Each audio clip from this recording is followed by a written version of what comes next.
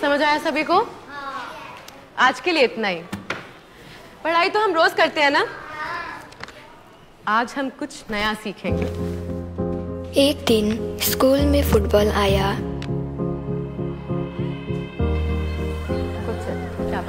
और फुटबॉल ने मुझे बताया। ये सर, सिर्फ़ पानी का मटका उठाने के लिए नहीं बना।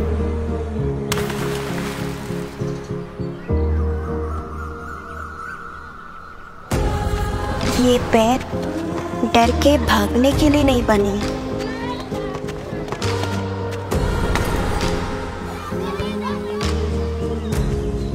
पसीना सिर्फ़ खेतों के लिए नहीं बना।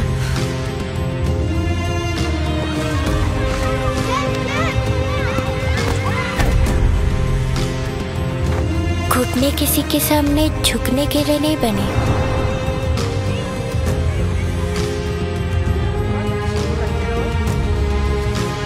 ये कंधे अनाज की बोरियाँ उठाने के लिए नहीं बने।